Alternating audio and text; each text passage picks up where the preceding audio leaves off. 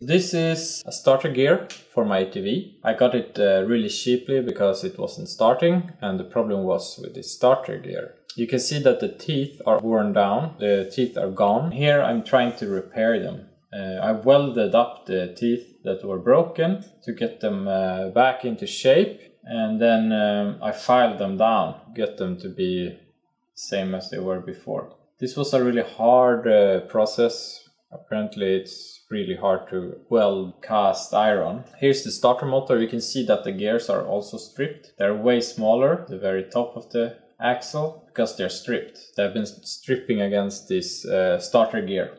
I did the same process with the starter motor, uh, welded up the teeth and then tried to use a file. Here I welded it to try and repair those teeth. But uh, yeah, it's really hard to do that. The welds doesn't stick that well. I used the angle grinder a bit because it was hard to reach with the file here. Here's the result. It looks better, but it's not so good. I tried it in the ATV. It's not much of an improvement. It's still jumping teeth and they break down because they're not perfectly matched. So they actually break. So I gave up on that because it was way too hard. Here I'm gonna continue to remove stuff from the ATV because I wasn't sure if there were other stuff that was broken so I'm uh, opening up the engine and to be able to get the flywheel off I welded this special thing that go around the nut in there because it was really hard to reach that nut. Probably need a special tool to get inside there. So I welded this thing and it worked pretty pretty well. This is one of the steering rod things for the ATV. It actually fit into the shaft here so I could use it as a pulley you could say when I force this one in, it pushes out the flywheel.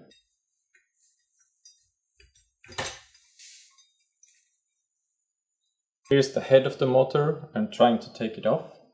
And there are bolts inside the frame here, which some are really hard to reach. There is a piece of iron going on top of that bolt in the corner there. I couldn't reach it, which was pretty annoying. So I had to come up with a solution to get that bolt out. I drilled into the this metal thing in the same size as my tool so I could get this uh, tool in there. That worked out really well. So this is one of the inlets, whatever you call it, for the ATV.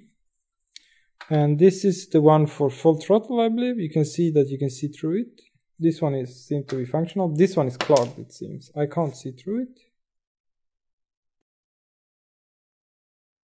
So I need to clean this out. So I have this really thin wire here.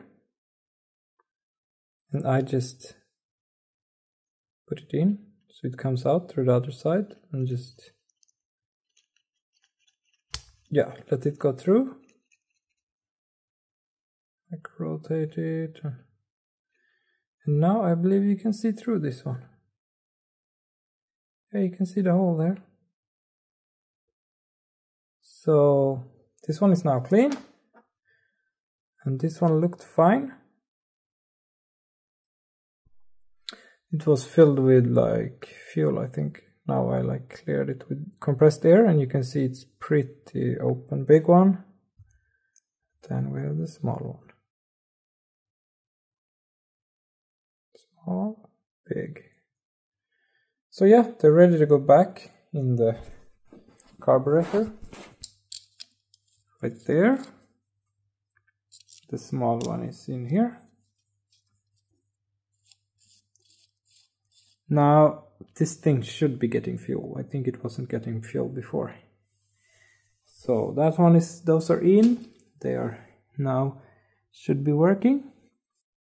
Because I didn't get the starter motor to work with the broken gears the next plan is to use this tool thing and weld it onto the starter gear. This tool had a perfect fit onto the starter gear, so it was centered, and I just welded it on there. Then I can take this welded tool with the starter gear and put it where it's supposed to be, and if I rotate the tool, I will rotate the engine, just like the starter motor would do. So now I'm connecting up the cables to the battery so I can uh, test and see if I can get the motor to make spark or to start using the cordless drill. With this new uh, adapter thing that I just welded. I just fit it onto the tool like this. I have this socket that fits on the tool. The tool is welded to the starter gear.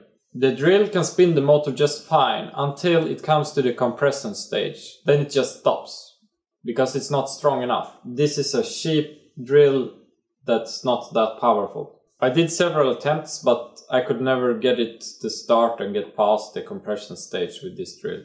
I tried another drill that I have that is connected with a wire. It seemed to perform better. It had more speed and could get the motor past the compression stage. But in the process, it broke very quickly. Inside the drill there were gears that were stripped and the drill would not spin correctly. Without load it could move, but as soon as you applied load to it, it would have problems with the stripped gears. So after that I realized I didn't have anything strong enough to start the motor. Stay tuned for next part where I will investigate this further and uh, try and get this ATV to start. Around two years ago I started uh, uploading videos to YouTube more on a regular basis. At first, the goal was to make one video every month. And I've been doing that for two years now. But now I wanna step it up and try and do two videos every month.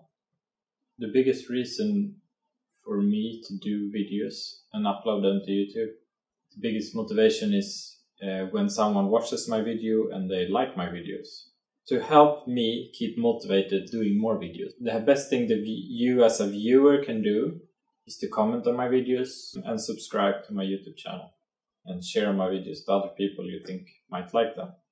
I have some exciting projects coming up. For example, this car behind me, which is having a completely different power system than a regular car. That's gonna be quite exciting. I'm making videos of almost everything I do with this car. There are other projects coming as well. Stay tuned and subscribe to see those uh, projects coming.